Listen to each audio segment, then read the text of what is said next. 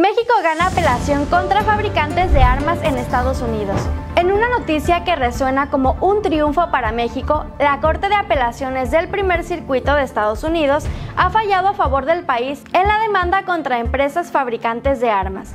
A finales de julio de 2023, el equipo legal del gobierno mexicano continuaba con la batalla legal contra los fabricantes de armas estadounidenses en una corte de apelación en Boston, Massachusetts. Esto ocurrió después de que una demanda por una indemnización de 10 millones de dólares fuera desechada en septiembre por un juez.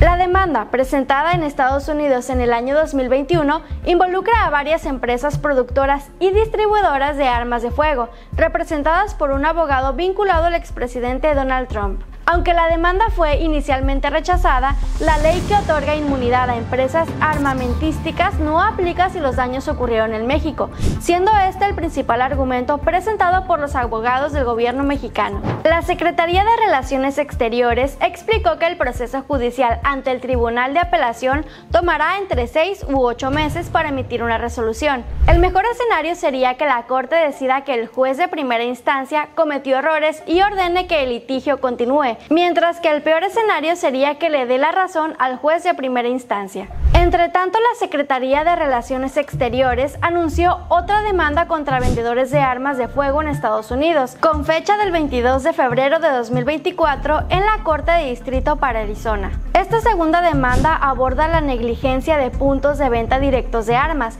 destacando prácticas comerciales que facilitan el tráfico ilícito hacia México. Esta victoria en el caso de Boston y la próxima audiencia en Arizona han sido tomadas como una victoria del gobierno mexicano en su lucha contra el tráfico de armas provenientes de Estados Unidos.